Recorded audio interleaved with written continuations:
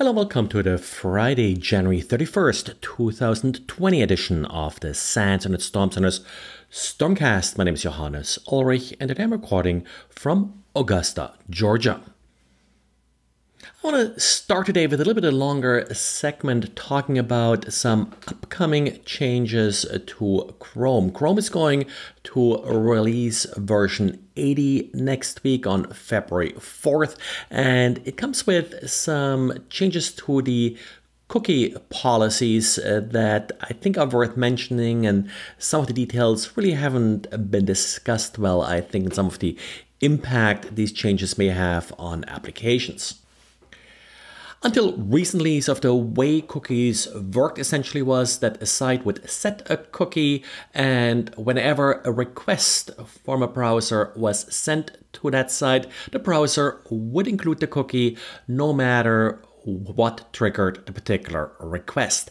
This, of course, led to heavy abuse. It led to some user tracking. It also was some of the reason why cross-site request forging became such a big deal.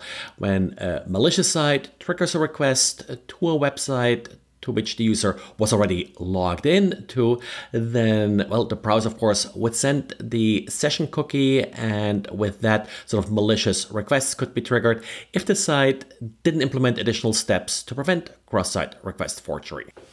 So to prevent some of these issues, a new cookie parameter was introduced, same site.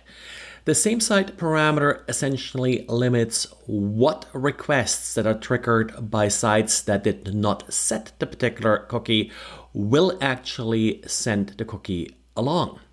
So if I'm logging into a website, the website sets a session cookie, I'm going to another website without logging out, and that other website will now trigger request by submitting a form, by loading an image or whatever, then I can limit whether or not the cookie is being sent along with that request. Now, you got uh, three different options with the same site parameter. First one is none, and that's essentially the behavior we have right now, where the cookie is sent uh, no matter what website is triggering the request. One of the restrictions that was sort of added here is that if you are setting same site none, you better set the secure parameter and do everything over HTTPS, uh, but uh, that should be sort of default anyway these days. The next setting is lax, and lax is sort of the nice in-between setting and it's a proposed default setting as well and what lax does is for requests like get request the cookie is sent but for post requests, the cookie is not sent if the request is triggered by another website than the one that set the cookie. And this should prevent many of the sort of more dangerous uh, cross-site request forging requests where a malicious website embeds a form, uses JavaScript to submit that form, and then of course with that post submission, the cookie is sent as well. Now, the last and uh, most restrictive version is strict, which basically means that the cookie is never sent if another website triggers the request. So what Google decided is that starting with version 80 to be released next week, lax will be the default. So if you are setting a cookie, you're not specifying a same site parameter, Google will just assume that you wanted to set it to lax and cookies will no longer be sent if a third party triggers a post request. Great idea overall, should help with privacy and should prevent at least some cross-site request forging exploits.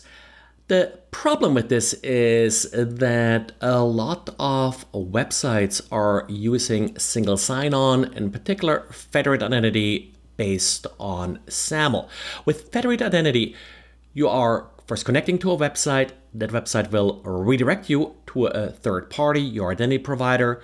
You will log in to that website, and then that website will typically redirect you back to the website you came from. And with that, it will also trigger you to send the cookie back that you received from that website. And this request is often a post. So Simplistically speaking, it looks like Google Chrome version 80 will break a lot of federated identity. There are a couple workarounds here and a couple sort of things that Google and Google Chrome really here put in play to hopefully help with this issue. First of all, one decision that Google made that in Google Chrome 80, this same site equals lax restriction will not be implemented for the first two minutes of the cookie's lifetime, which should give you enough time to log in to the uh, identity provider. So what would happen here is the first website sets the cookie, sends you to the identity provider, then you're being sent back to the first website after you log in. If this happens within two minutes, all is good. If it takes longer than two minutes, stuff breaks. Or if you do similar things after two minutes, stuff breaks as well. So for example, you're going to the first website, it sets the cookie, you're doing some things that don't require authentication, then you're being redirected to that identity provider.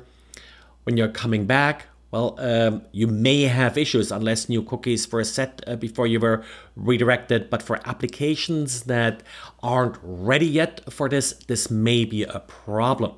Microsoft actually published specific updates with the January update for its Windows Server product, fixing Active Directory federated identity just uh, for uh, this particular compatibility issue with Google Chrome.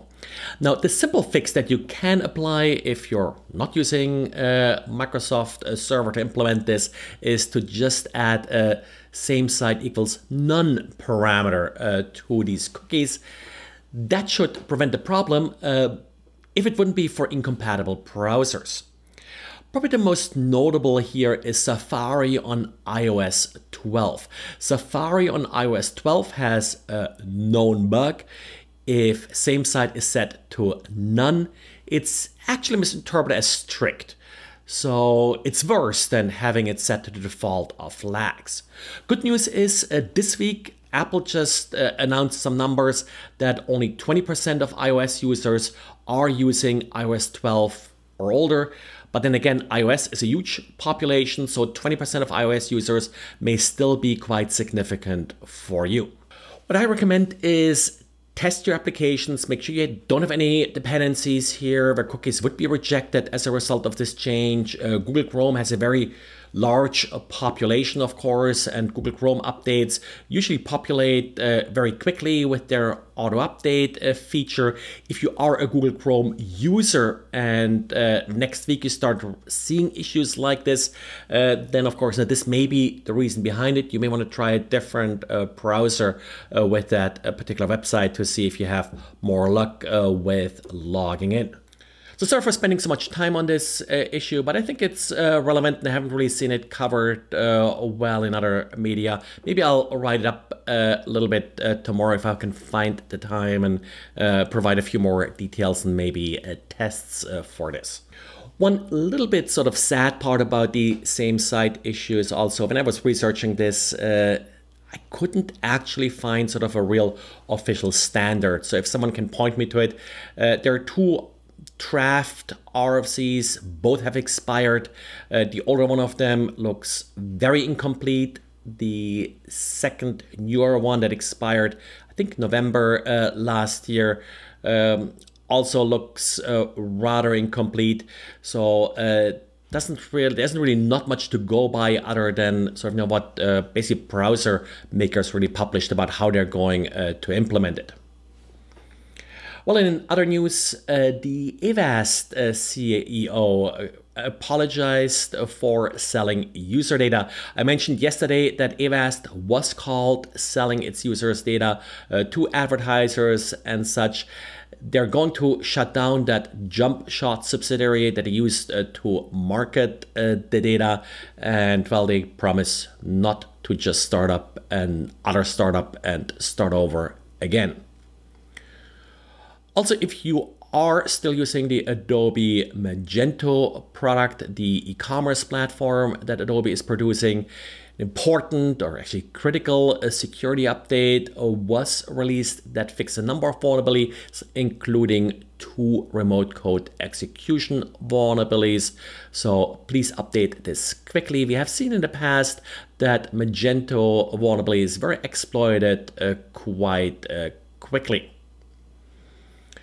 So this is it for today. Thanks for listening and talk to you again tomorrow. Bye.